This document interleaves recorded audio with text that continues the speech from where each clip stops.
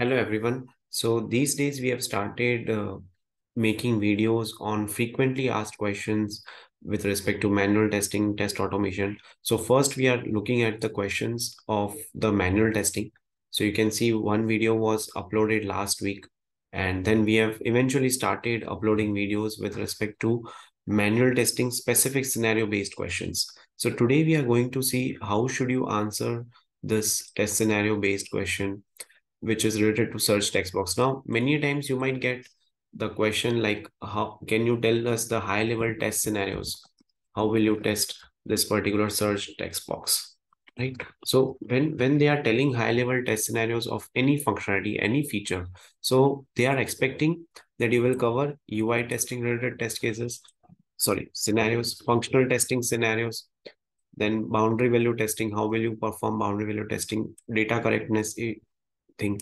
Then load and stress. So this is related to performance, search relevance, and then search advanced features. So these all test scenarios, these all type of test scenarios you should cover whenever you are asked in an interview the question on search text box or search functionality, search feature.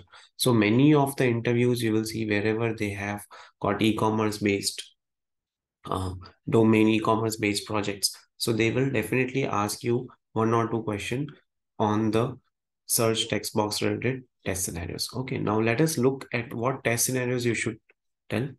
Okay, so these are a few of the test scenarios that we have listed, but if you feel that some test scenarios should be added into the list, so please uh, feel free to comment in the chat box.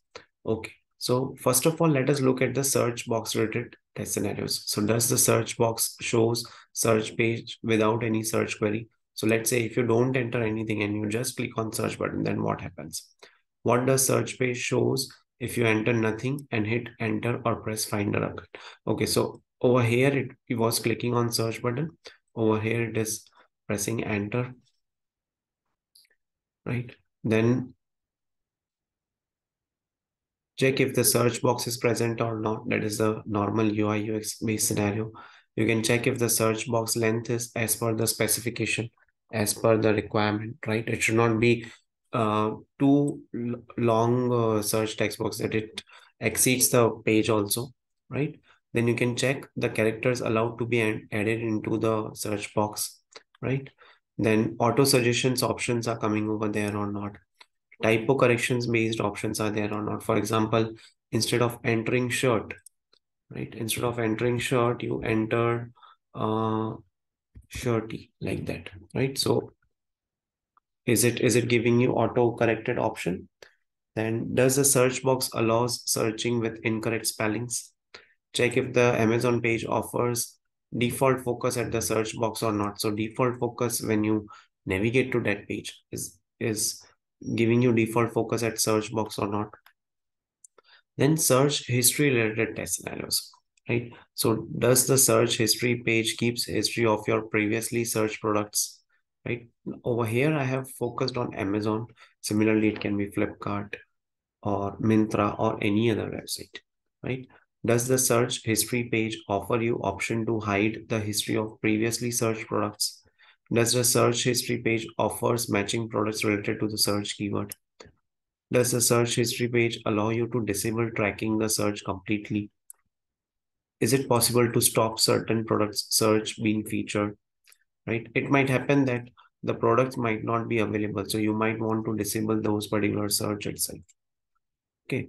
Then uh, is it possible that the search history reverts back to the default setting in a new session? Right. So these are related to the search history.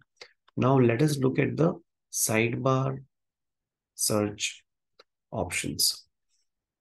Okay, now which are the various categories or options or filter that are available, right? Are you able to uh, have a search page of, of option with offers pricing sorting from low to high, high to low, vice versa.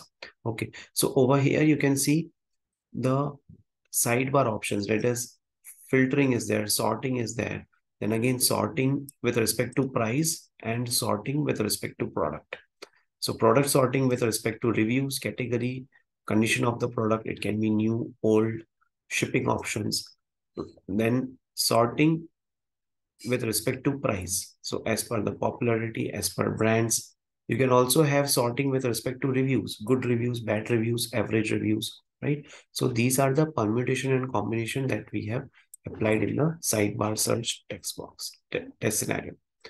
Next is responsive test scenarios. So does the search box appears on mobile? Now, in the requirement, in the interviewer might not tell you that it is web-based or it is mobile-based. But if he or she has not mentioned you mobile-based, then you should directly start telling about mobile-based test scenario. This would eventually help you to speak more in an interview, which is how you can convert, you can move the interview in your desired direction, right? That's how you can, you should answer. Then does the search box solutions appear on the mobile or tablet?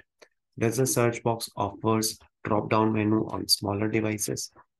Does the search box offers category selector on mobile or tablet? Right. So these kind of search related test scenarios, high level test scenarios we have put over here.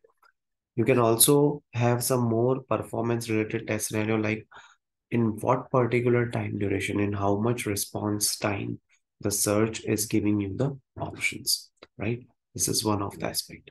Another thing can be if multiple people are searching, then how much time it is taking. If you are doing concurrent testing with 50 users at a time with and they are searching same product at a time in that search box. Or the second scenario would be of the concurrent testing would be that if they are searching multiple products, multiple users, multiple products, multiple users, same product on the search. So that's how you can test.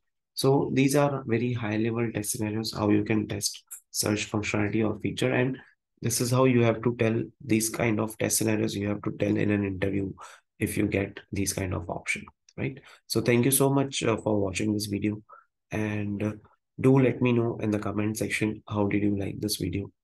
and what kind of other videos would you want us to make for you. So thank you so much for watching this video. Uh, stay tuned for more updates.